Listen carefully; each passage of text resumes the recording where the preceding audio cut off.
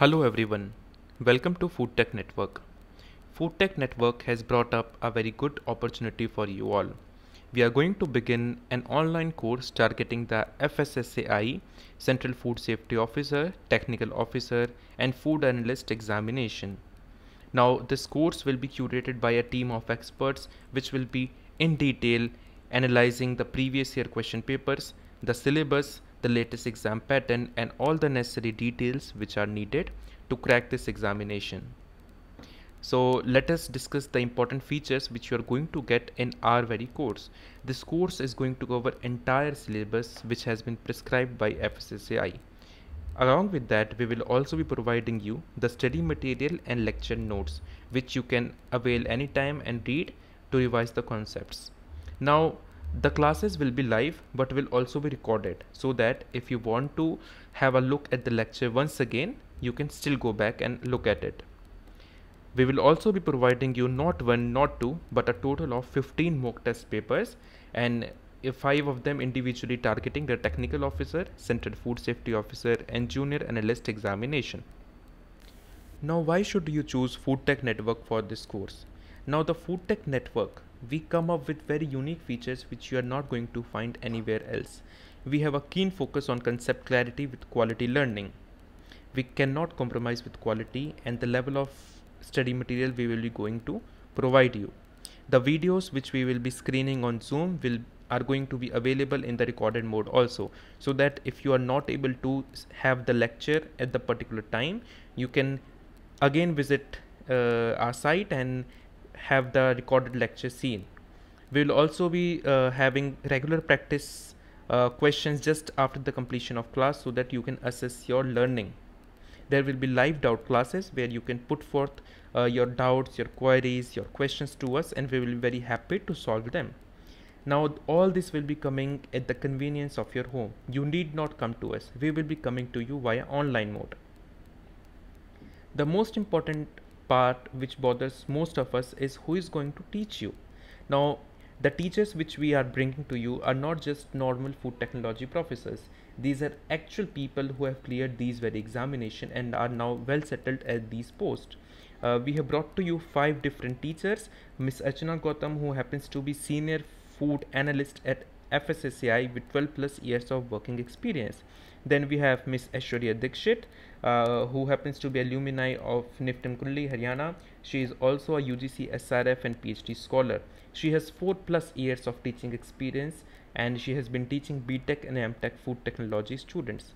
We also have Dr. Yogesh Kumar, who is an assistant professor with 5 plus years of teaching experience.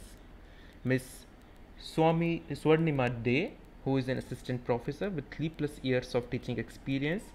Miss Surbhi Tripathi, who is designated junior research scientist with 5 plus years of teaching experience. Now, apart from basic lectures, we will also be organizing guest lectures from the people at good designations in FSSAI. We will be having five different guest lectures and as you can see on your screens we will be bringing up Ms. Seema Shukla who is director of Export Inspection Council of India. We will be having Ms. Varshika who is the technical officer at FSSAI, we will be having Ms. Sheetla Devi, who is technical officer at FSSAI, Ms. Ritika Khattar, who is food consultant at Ministry of Food Processing Industries. Uh, we will also be having Mr. Deepanjan Patil, who is DGM at Hershey's India Private Limited, a very renowned food company. Now let us see what all we are going to cover in our course. So turn by turn we will discuss all three papers. First of all we'll talk about the food analyst examination. Now food analyst examination has three papers. Uh, two papers are the normal theoretical written paper and one is the practical paper. So these two paper, paper 1 and paper 2 are worth 100 marks each and there will be 100 questions in the sections and one question will be having one mark. In paper 1 as you can see we will be having food laws and standards in India then planning organization and setup of food analyst laboratory NABL the National Accreditation Bureau of Laboratory. We will be having uh, the principles of food preservation processing packaging labeling claims and principles of nutrition. And at last we'll be having food hygiene sanitation codex international food control systems WHO, FAO, HACCP, quality controls, etc. In paper 2 we'll be having food chemistry, food additives, antioxidants and contaminants. We'll be having instrumental methods of analysis and food microbiology too. Now if you lose one mark in any of these questions, there will be a negative marking or if you uh, happen to uh, make one question incorrect, you will lose 0.25 that is one fourth of the total marks allotted to each question right? And the duration will be 2 hours for each paper. And 35% uh, will be the weightage given to each paper separately okay? And the third paper which I talked about will be a practical paper. So it will run for two days and uh, three different components will be allotted to the practical paper the methods of analysis then practical proficiency and viva voce making it a total of 100 marks right? So if you see in total the questions will be for 100 marks and the uh, question will be 100 and the total marks will be 200 so this is how the breakup of food analyst exam is done. Now if you talk about the detailed syllabus then food laws and standards as you can see on your screen we will be having the FSS Act, Agriculture Protection uh, Produce Act, Export Quality Control and Inspection Act, we'll be having BIS that is Bureau of Indian Standards. Then uh, other acts like Legal Metrology Act International Food Control Systems Codex and all etc then the planning organization will be simply based on the uh, standards uh, laid down by ISO 17025 then the principles of food preservation will be very simple. The uh, various processes like canning thermal treatments freezing and all those things then packaging labeling requirements and legal compliance and last the food hygiene and sanitation which generally HACCP, GMP, GHP, GLPs etc.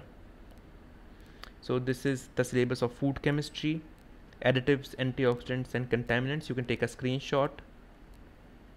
This is the syllabus of food additives. Now these are the contents of food microbiology and instrumentation. Now after this the TO and CFSO has a different pattern.